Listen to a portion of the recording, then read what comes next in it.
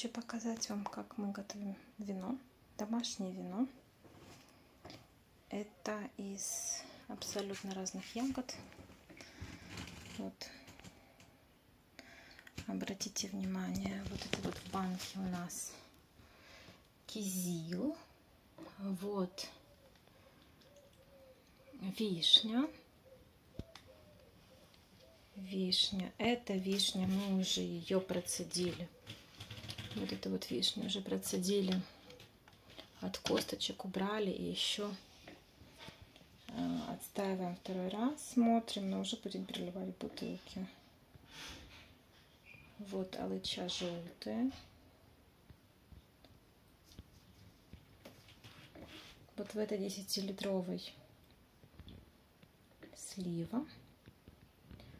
Вот такая вот система отводом воздушным здесь. Или можно просто обычные трехлитровые банки по старинке с перчаткой. Я просто его перемешивала, поэтому перчатка она сейчас не надутая, она была надутая. Вот кизил мы растолкли, чтобы он больше давал соки. Вишня тоже здесь сейчас без косточек, но мы делали с костями, тоже было вкусно. Такое вино готовим уже не первый год. Примерно на 10 литров мы добавляем килограмм сахара. Ну, надо еще смотреть по ягоде, насколько она сладкая. То есть на э, вот такие вот бутли на 5-6 на литров мы добавляем где-то примерно полкилограмма. И на трехлитровую, ну, около стакана. Потом можно э, после процеживания это вино еще раз попробовать. Добавить еще сахар и поставить еще на какое-то время. Мы так вот уже делали. Вот, например, у нас бутылка с вишней, нам немножко она показалась кисловатым.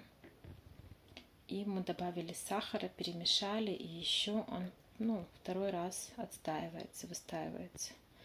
Но так как уже не играет, будем переливать в бутылки.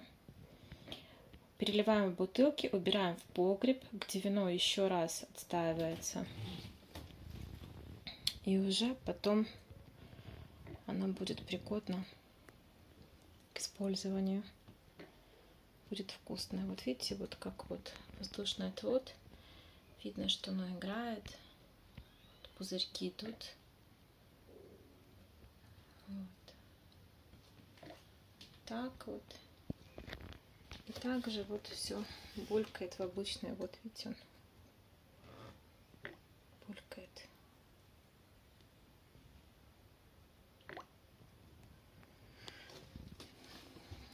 Играет примерно около месяца в самом теплом месте. У нас под чердаком на третьем этаже. Но э, надо смотреть по ягоде. Что-то играет больше, что-то играет меньше. То есть надо смотреть, сколько, сколько времени надо.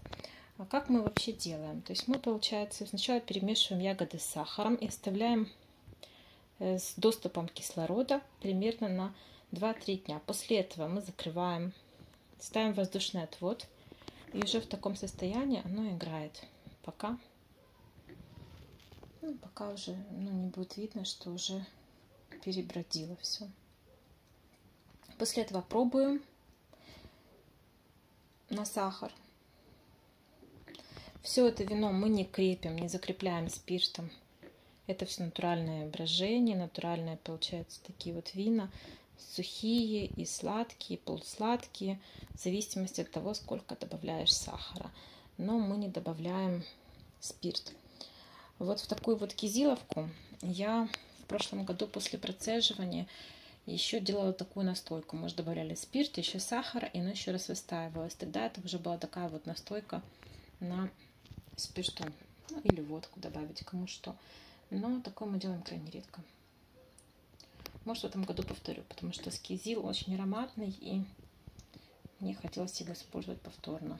Кстати, вот эта вот вишня, она используется повторно.